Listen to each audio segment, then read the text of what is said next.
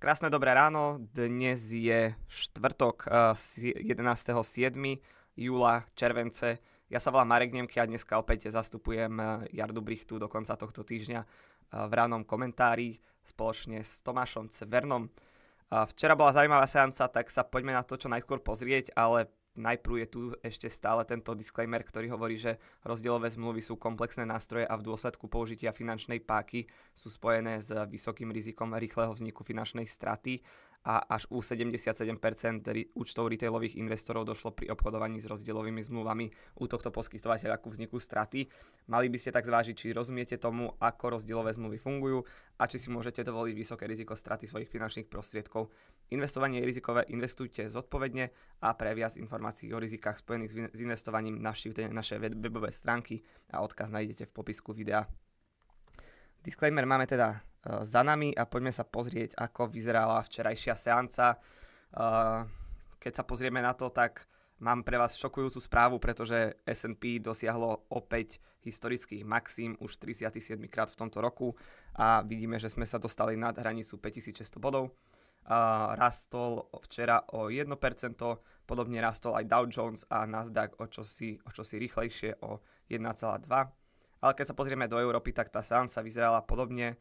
A vidíme, že Eurostox vzrastol o 1% a zbytok plus minus taktiež o, o to 1%.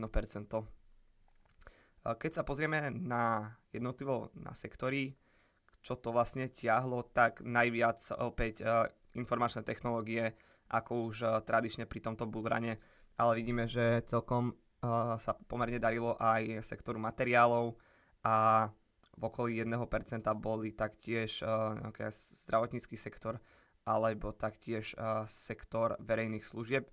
Keď sa pozrieme ešte bližšie na tie informačné technológie, tak uh, tu vidíme, že dôvodom bol opäť uh, semiconductor sektor, sektor polovodičov, ktorý vzrastol až o 2,29%. Uh, Keď sa pozrieme ešte na jednotlivé spoločnosti, čo sa tam dialo, tak Nvidia si pripísala 2,69 uh, bez nejakej výraznej správy, ktorá by, uh, ktorá by ju potiahla. A potom sme tu mali Apple. Apple zrastolo 1,88%, primárne potom, ako uh, vyšla správa, že spoločnosť bude cieliť na tento rok nárast predajov iPhoneov až o 10%. Um, v tom vlastne na to, na to reagoval Apple významným, významným rastom Dôvodom by mal byť zvýšený dopyt práve po uh, nových iPhonech, respektíve po iPhonech, kde bude už uh, zahrnuté Apple AI, respektíve Apple Intelligence, takže AI. Uh, komplikované.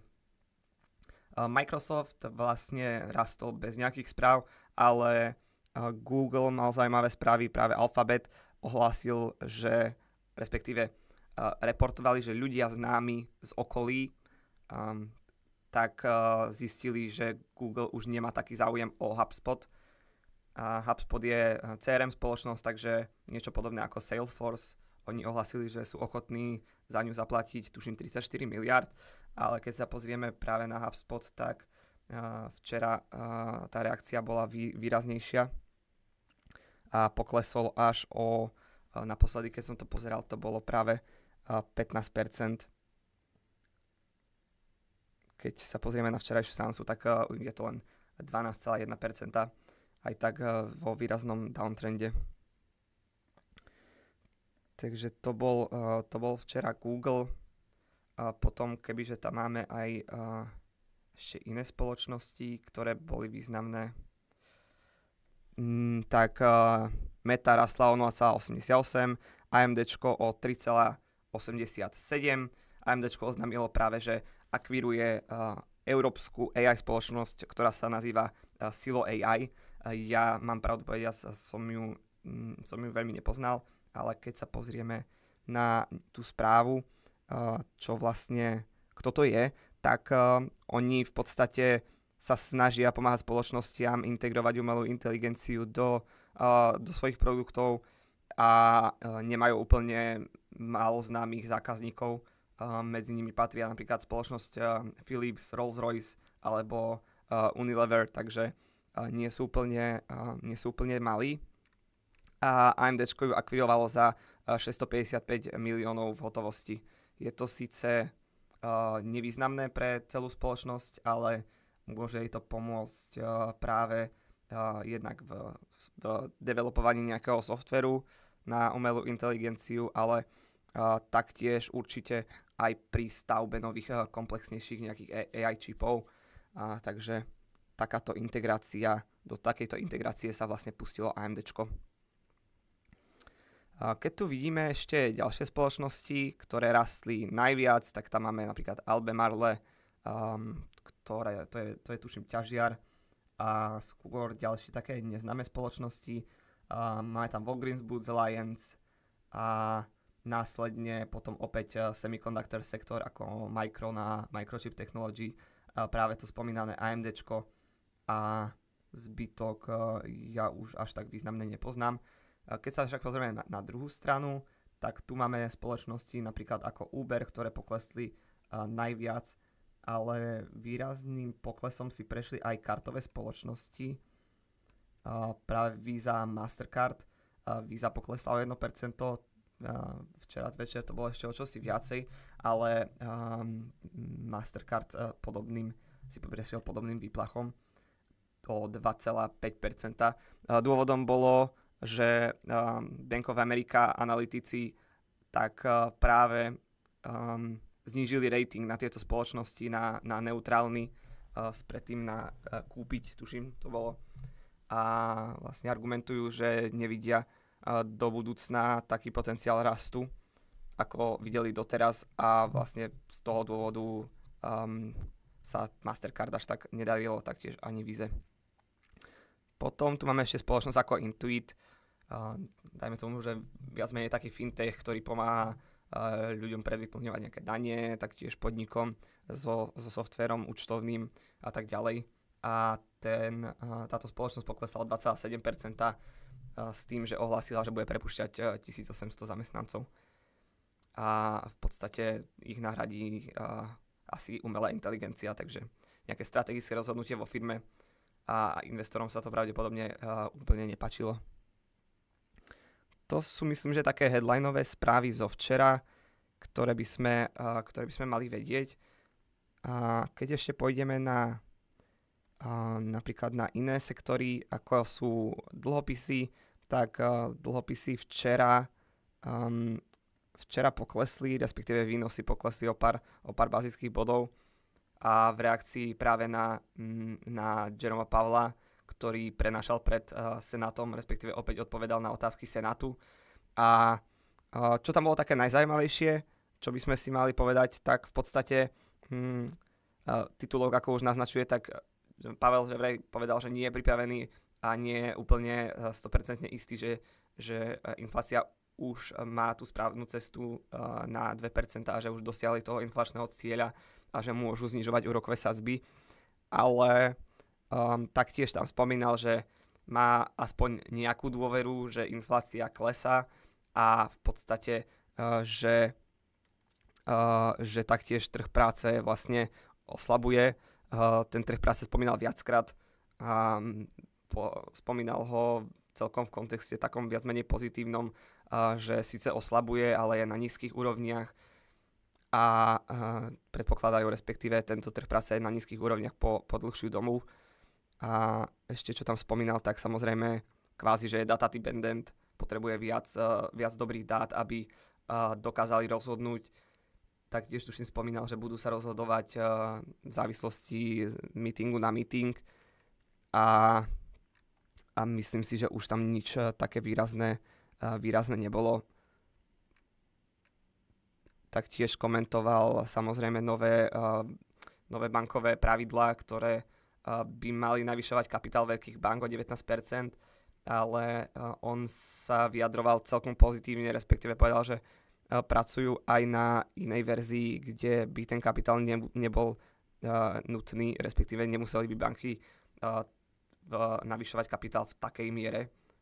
Takže opäť nejaký pozitívny sentiment okolo bank v súčasnosti pred, pred výsledkami. Taktiež hovoril ešte o svojej rozvahe.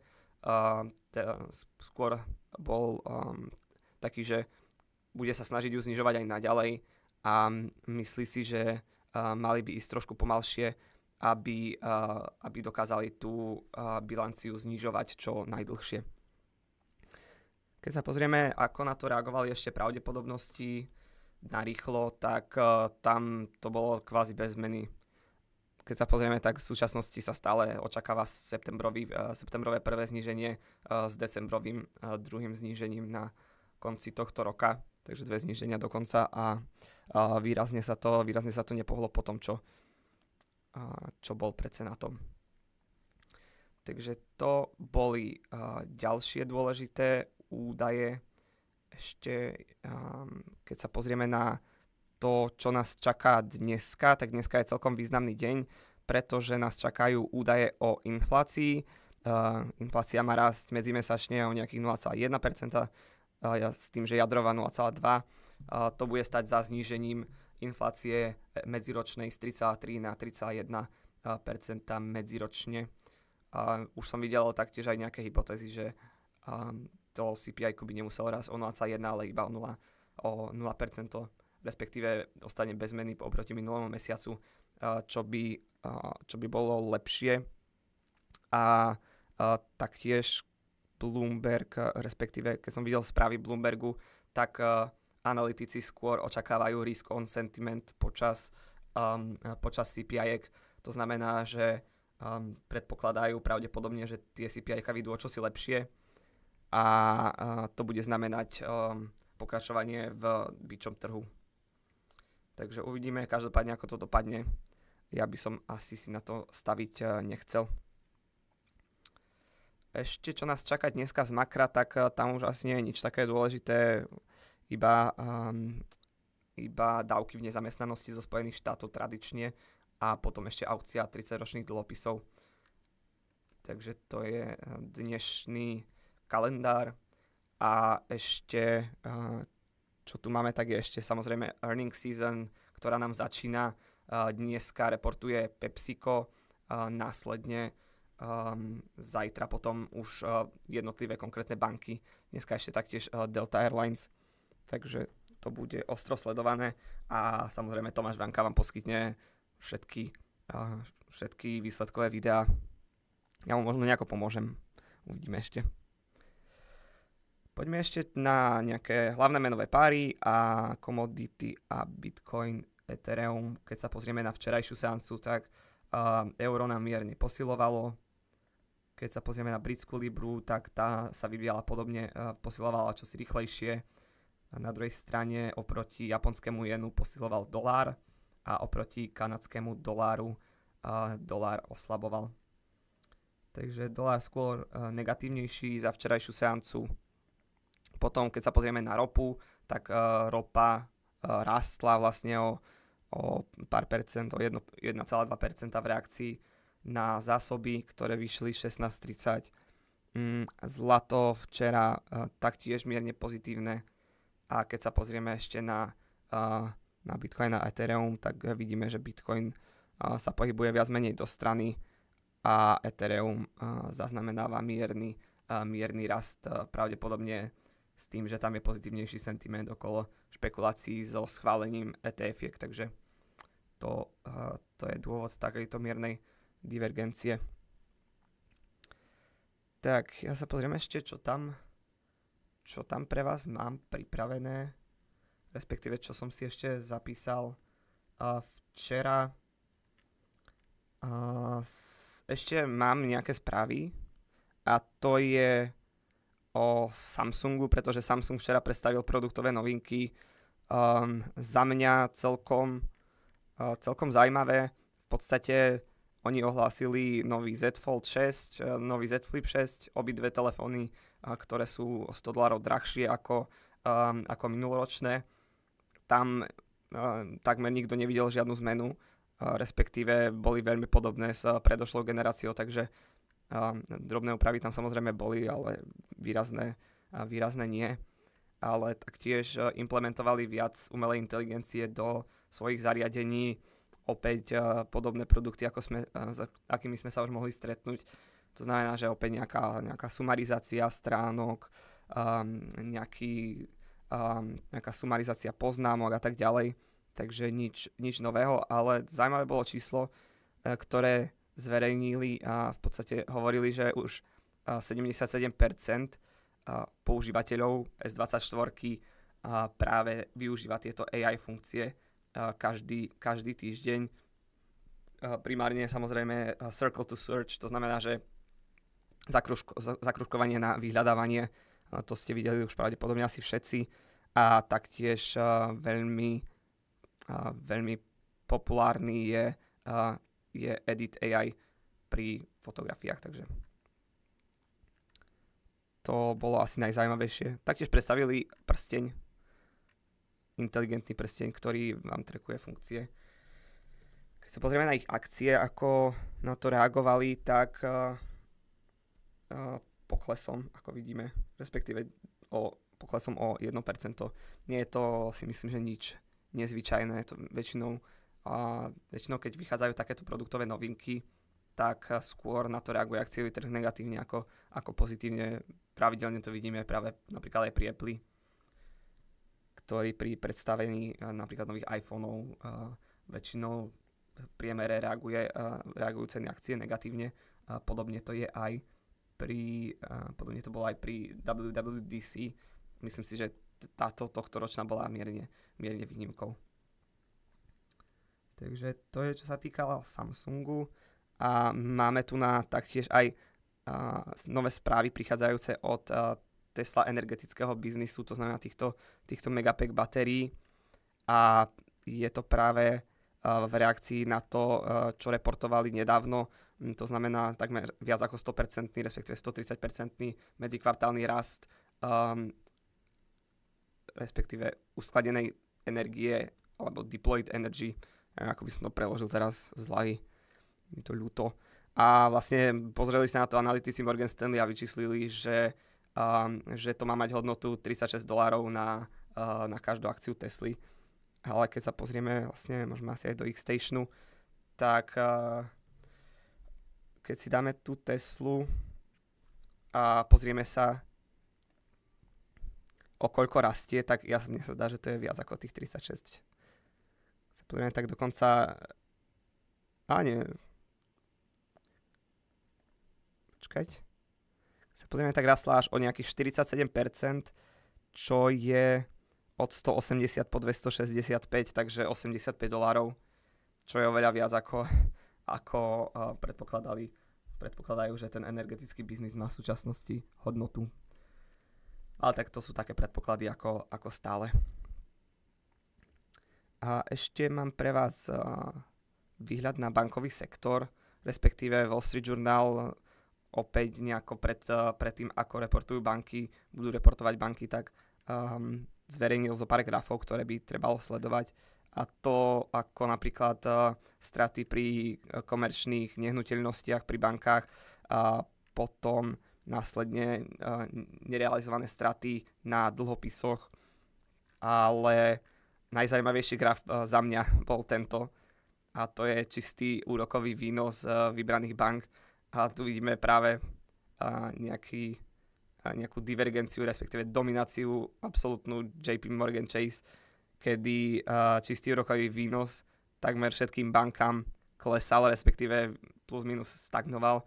A vidíme, že JP Morgan Chase um, takmer, takmer priamo čiaro rastol. Samozrejme, oni tam, došlo tam aj k tej akvizícii First Republic Bank, takže to im mierne prospelo, ale vidíme, že napriek tomu, uh, napriek tomu sa im významne darí a ten net interest income majú, majú čím ďalej tým vyšší. Takže toto bolo za mňa, za mňa asi uh, celkom, celkom zaujímavé porovnanie jednotlivých bank a ako, ako sa JP Morgan úplne dištancuje od ostatných. Jo, tak za mňa asi všetko na dneska. Ešte sa pozrieme na, na tie vaše komentáre z pondelkového videa, lebo uh, videl som, že tam toho bolo pomerne dosť. Respektíve pár komentárov bolo aj na mňa, takže, uh, takže si myslím, že by bolo dobre na to, na to nejako reagovať. Uh, prvá bola na Upstart, uh, že či vlastním akcie Upstart. Uh, že či ešte vlastním akcie Upstart, no respektíve ja som ich ani nikdy nevlastnil, takže Mm, takže to asi vás sklamem. A ja som o nich robil akurát výsledkové video. Uh, Upstart má, mal za mňa veľa problémov a preto som ani nechcel sa do neho púšťať. Ale neviem, už dlho som ho nevidel, tak môžeme sa na neho pozrieť, ako, ako vyzerá v súčasnosti to ocenenie. Uh, ako vidíme, tak nevyzerá veľmi pozitívne. Tu už máme straty, respektíve straty máme stále od roku 2022 mne čo najviac tam vadilo, bol práve ten ich model, ktorý neperformoval tak, ako oni očakávali. A z toho dôvodu vlastne som ani neplánoval vstúpiť do tejto spoločnosti a čo mi taktiež vadilo, že im tie úvery, ktoré generovali, vyseli na, na balance sheete, na rozvahe alebo súvahe po slovensky a vidíme, že to je ešte doteraz keď sa pozrieme na, tú, na tie celkové, uh, celkové aktíva, respektíve other short-term assets, práve túto, uh, túto bolo, tak vidíme, že tu na nejaký pozitívny vývoj sa nedeje a tie, tých počet úverov narastá a narastá a narastá. No by to nebol až taký problém, ale Upstart samozrejme nie je banka, takže ona nemá držať uh, úvery na svojich, um, na svojich súvahách, pretože ne, ne, nezískava to vlastné financovanie, ako získavajú banky, to znamená z depozit. Keď sa pozrieme napríklad, môžeme sa pozrieť nejaký priemerný, priemerný náklad kapitálu. Vidíme, že, že je 14,6%. Väčšina je equity, to je pravda, ale taktiež uh, dlh, ktorý získavajú, tak je za 6%. Stále pomerne dosť uh, vysoko aby mohli držať, eh, držať práve vôžičky na svojich, eh, na svojich balanšitoch. A taktiež správa, že to v podstate nikto od nich nechce kúpiť, nie je úplne pozitívne, pretože um, asi tie banky ich vidia príliš rizikové. Z toho dôvodu by som nejako nechcel ani špekulovať na ďalší rast a pokles. Spremne ešte na vývoj cenový, čo to, čo to robilo, tak za posledných, neviem, 6 mesiacov, hm, tak skôr skôr máme tu na negatívny sentiment a downtrend, čo sa veľmi nečudujem. To bol Upstart. A potom, čo sa deje zo Saska Group, žiaľ, tu na odpoveď nepoznám. Ja som včera vlastne pozeral nejaké, nejaké headlineové správy, hovorili, že budú mať IPO, nakoniec to asi uh, tak nebude respektíve tie správy úplne ochladli, takže, takže možno, možno niečo majú na pláne, ale úplne, úplne to, takéto inside info až nemám. Či by som sa pozrel na AGCO s nejakým stručným názorom, spoločnosť vyklesala, začína byť u zaujímavých úrovní, uh, nevie, či dokážem zistiť tržby z jednotlivých štátoch, a to konkrétne u nás, respektíve asi u vás. a Nemecko, Francúzsko a ako to vidí do budúcna. Ja tú spoločnosť veľmi nepoznám, ale môžeme sa mi pozrieť. Aspoň budete vidieť, ako vyzerajú, respektíve ako sú nejaké predpovede na tržbách. A taktiež vám ukážem, aký je ten, ten pomer jednotlivý. Mm, keď sa pozrieme, tak... Uh, Spoločnosť vyrába a distribuje poľnohospodársky materiál, respektíve poľnohospodárske uh, zariadenie, takže asi niečo podobné ako John Deere. A keď si dáme finančnú analýzu, tak pravdepodobne klesajú s tým, že výhľady sektoru sú nižšie. Vidíme to aj asi na tržbách, minus 7,7% na tento rok sa očakáva, pokles ziskovosti minus 21%. Keď sa pozrieme na nejakú valuáciu stručnú, price earnings asi 7 na tento rok, ale čo si viac na ďalší rok, tuším nejakých 9 na rok 2025, ktoré multiply. Free cash flow zaujímavý. 8, 8. Pozrieme ešte do ďalších rokov. 7,5 No to bude asi taká skôr viac menej taká value akcia. Uh, nevyzerá byť úplne drahá, ale otázka je, že vlastne čo sa tam bude diať v tom sektore ďalej. keď možno špekulujete nejako, že ten sektor nepoklesne až tak výrazne, respektíve, že bude záujem o, o traktory aj do budúcna, respektíve myslíte si, že majú nejakú konkurenčnú výhodu, budú získavať tržný podiel a tak ďalej, tak uh, určite zaujímavá spoločnosť. Ešte ako ste chceli, tak tie tržby podľa geografického rozdelenia vidíme, že Európa im tvorí 52% na tržbách. Uh, potom, keď sa pozrieme, tak um, väčšina je samozrejme Nemecko a Francúzsko 12 a 10. To asi je nejaký aj, aj historicky dané. A Česko, to bude asi Other Europe a to je 13%, takže, takže dodávajú aj, aj nám, aj vám. A zvyšok vlastne je Severná Amerika, Južná Amerika a e, niečo je Čína, takže, takže takéto je rozdelenie. A ešte, neviem, treba pozrieť, že akí sú zadlžení, ako pracujú s dlhom, ale vyzerá to byť celkom e, bezpečná, zaujímavá spoločnosť. Myslím si, že podobne sa bude obchodovať aj práve ten, ten John Deere. Môžeme sa ešte na neho pozrieť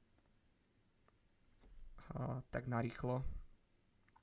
Respektíve tu na bož bude pravdepodobne nejaká, a, nejaká prirážka.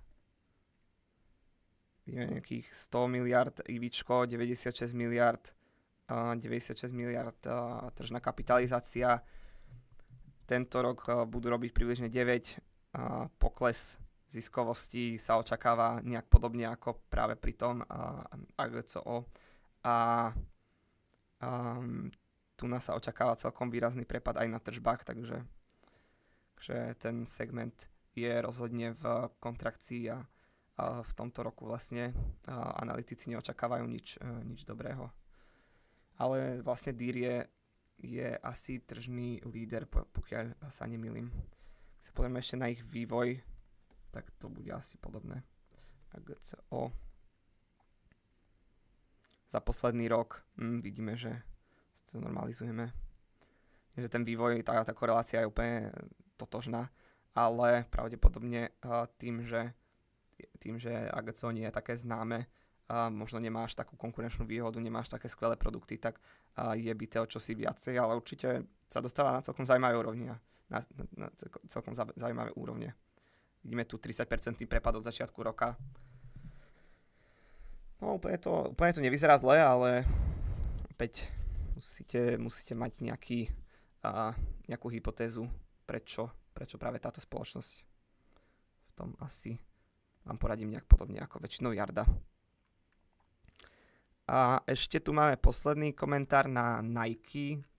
Uh, Nike, o nich som sa bavil už taktiež na Wall Street Opene Um, historicky, keď sa na to pozrieme, tak sa obchodujú samozrejme za, za lacné násobky, uh, taktiež vlastne uh, nie sú až tak zle nacenení, price earnings bol nejakých 20, pokiaľ som to pozeral nedávno, uh, respektíve 20 na, na tento rok.